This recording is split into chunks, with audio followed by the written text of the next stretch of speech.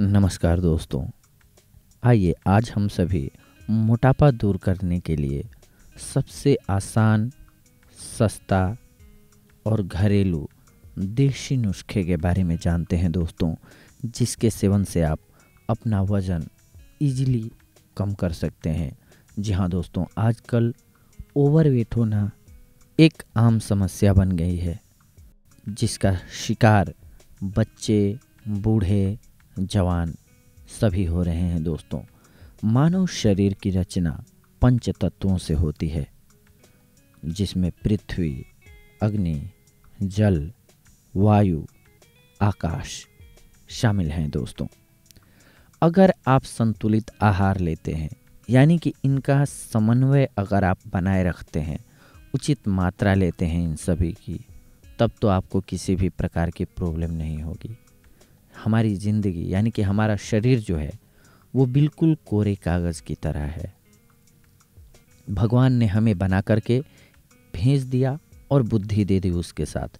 अब हमारे ऊपर होता है कि हम किस प्रकार से खाना खाते हैं, कैसे बॉडी को ग्रो करते हैं, हम ओवरवेट होने वाली चीज़ें खाते हैं या ऐसी चीज़ें खाते हैं जिनसे हम बीमार हों, या फिर हम उन चीज़ों को चूज़ करते हैं जिनसे स्वस्थ रहें। अगर हम संतुलित आहार लेते हैं दोस्तों तो हमारा स्वस्थ रहना बना रहेगा। और अगर हम खान पान के साथ लापरवाही बरतते हैं, टेस्ट पर जाते हैं तो फिर भुगतान भी हमें ही करना पड़ता है दोस्तों। बहरहाल, आइए आज हम जानते हैं हमारा मुख्य टॉपिक है कि अगर मोटापा बढ़ गया है तो उसे सबसे सस्ते और अच्छे उपायों के द्वारा कैसे कम करें हम? घरेलू नुस्खों के द्वारा, ताकि कोई साइड इफ़ेक्ट भी ना हो। नोट कर लीजिए आप सभी के लिए ज़रूरी सामग्री क्या होगी दोस्तों? चार चम्मच सौंफ, एक चम्मच शहद और एक चम्मच काला नमक। इसके साथ आप एक गिलास पानी ले लीजिए। करना क्या है आपको कि रात को एक गिलास पानी में चार चम्मच सौंफ डाल करके छोड़ देना है। सुबह इसे उबालना स्टार्ट करना है। उबालते उबालते जब पानी आधा बच जाए, उसमें आप काला नमक डाल लीजिए और शहद डाल लीजिए। अच्छे से मिक्स कर दीजिए इसको। अच्छे से मिक्स होने के बाद आपका नुस्खा तैयार है। हर रोज़ खाली पेट चाय की तरह सुबह सुबह आप पी लीजिए इसको। इसे पीने के एक घंटे पहले और एक घंटे बाद तक कुछ खाए पिए नहीं, तब आपके लिए ज़्यादा फ़ायदेमंद साबित होगी। ये औषधि दोस्तों। क्योंकि क्या होता है कि खाली पेट में किसी भी चीज़ को सही से डाइजेस्ट करने की क्षमता अच्छी होती है। तो जब भी हम ऐसी दवाएँ लेते हैं जो देशी होती हैं, जिनका कोई भी साइड इफ़ेक्ट नहीं होता है, जितनी ज़्यादा गर्म नहीं होती हैं तो उनको हम खाली पेट लेने की सलाह देते हैं दोस्तों। सुबह खाली पेट अगर आप इसके साथ साथ करेला भी पीते हैं तो भी आपकी कैलोरी बर्न हो जाएगी, आपका वेट कम हो जाएगा दोस्तों। पूरे डे अगर आप गर्म पानी पीते हैं, नींबू, काली मिर्च या फिर अदरक का जूस मिला लेते हैं गर्म पानी में तो सोने पे सुहागे वाली बात हो जाती है।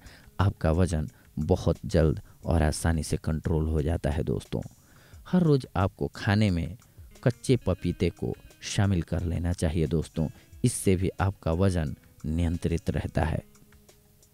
अगर आप दही का सेवन करते हैं तो भी आपका वज़न नियंत्रित रहेगा। हाँ चीनी का उपयोग बिल्कुल ना करें।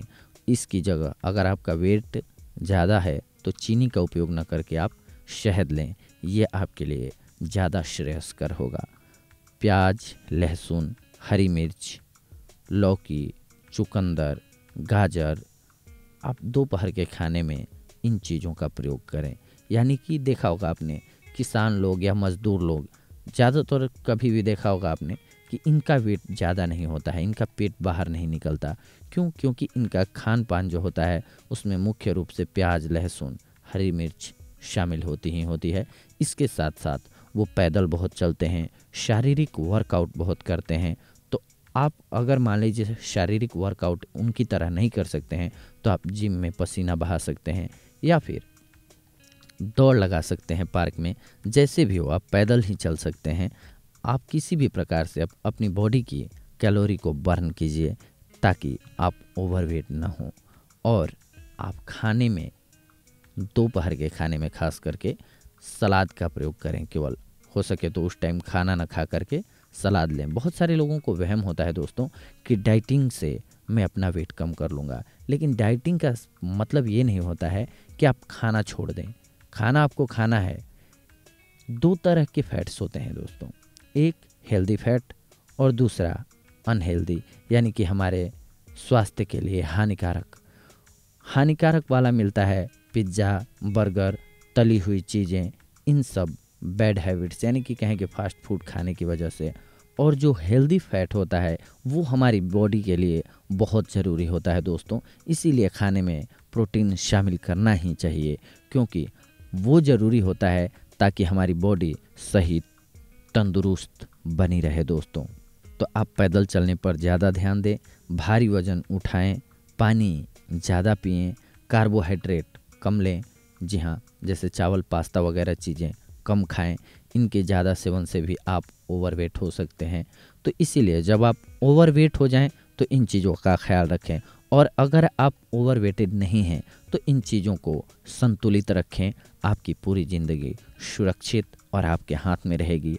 आप बीमार नहीं होंगे दोस्तों तो खान पान का सुधार करें और अपनी ज़िंदगी को संवारें। ऐसे ही अगली बार हम आप सभी से जुड़ेंगे कुछ एक आपके लिए जानकारीपूर्ण बातों को लेकर के। तब तक के लिए धन्यवाद। नमस्कार दोस्तों।